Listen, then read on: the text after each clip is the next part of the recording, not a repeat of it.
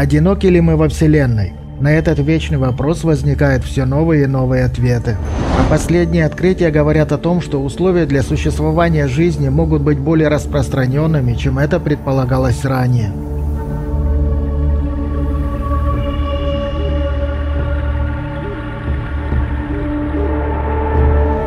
Вдумайтесь, только в нашей галактике Млечный Путь насчитывается более 200 миллиардов звезд. А вот наша соседка, галактика Андромеды, более чем в два с половиной раза больше нашей галактики и содержит около триллиона звезд.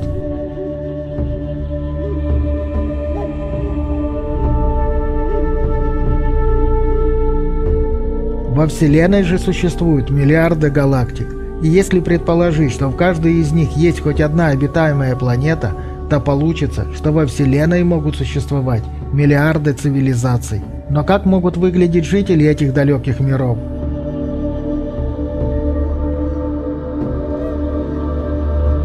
Ученые говорят, что инопланетные виды, значительно напоминающие земную жизнь, от гуманоидов до калибри, могут обитать в миллиардах миров нашей Вселенной. А это значит, что мы не уникальны.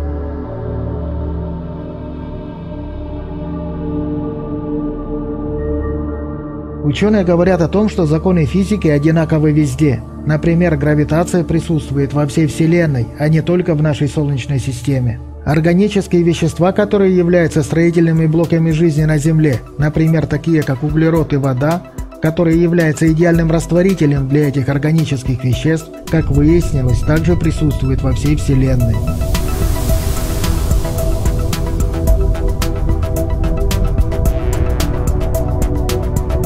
Таким образом, законы физики не сводят живые существа к ограниченным формам а посему иноземная жизнь может иметь много общего с жизнью на планете Земля.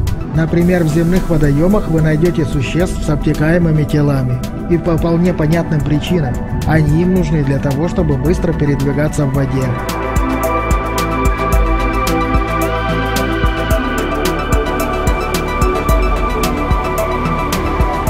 Так было в течение сотен миллионов лет. Акулы, дельфины, киты и другие рыбы как вымершие, так и живущие поныне. У всех их достаточно схожий внешний вид.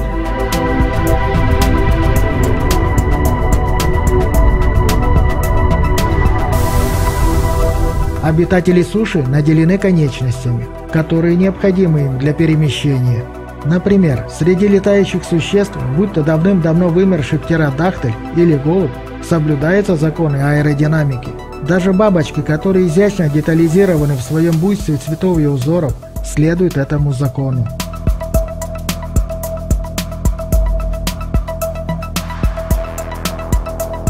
Если крылья у бабочки будут слишком маленькими, то она не сможет подняться в воздух.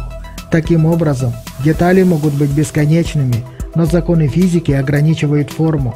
Конечно же, есть и исключения. Например, змей, у которых нет конечностей, и они скользят по земле. Перекати поле перекатывается.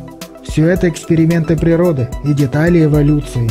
Но большая же часть природы определена правилами, которые могут быть крайне ограниченными, в том числе и технологически развитые инопланетные цивилизации.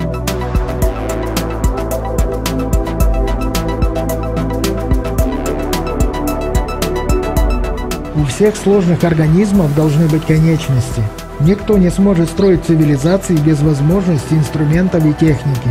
Также у них должны быть голова, глаза, нос, уши и рот. Таким образом, инопланетяне могут быть пусть и не нашими двойниками, но дальними родственниками вполне себе могут быть.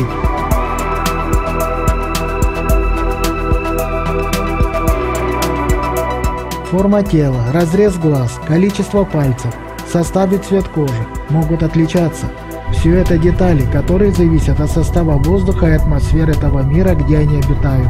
Но общие черты у них и у нас должны быть схожими. А это значит, что инопланетяне могут быть похожими на нас. Что же, берегите себя и своих близких. И не забудьте подписаться на наш канал. У нас будет еще интереснее.